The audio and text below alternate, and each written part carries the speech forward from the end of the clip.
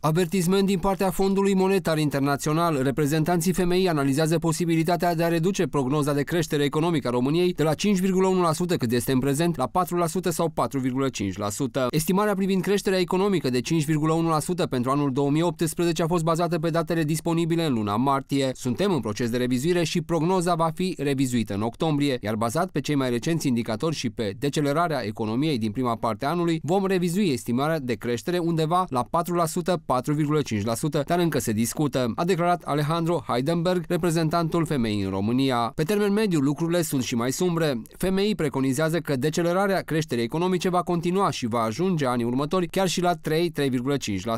Oficialii femei atrag atenția și asupra deficitului bugetar. Pe de altă parte, pentru anul acesta estimăm un deficit bugetar de 3,6% din PIB. Încă analizăm ultimele cifre ale rectificării bugetare, dar suntem preocupați că ținta de 3% va fi ratată. A mai declarat oficialul sectorul femeii. Cifrele estimate de Fondul Monetar Internațional în primăvară erau mult mai optimiste. În raportul World Economic Outlook, publicat în aprilie, FMI a revizuit în creștere de la 4,4% la 5,1% estimările privind creșterea economică din acest an. Acum, FMI anunță că se așteaptă la o încetinire semnificativă a creșterii economice, care ar putea ajunge chiar și la 3,5% în 2019. Pentru acest an, Guvernul României și-a asumat o creștere economică de 5,5%.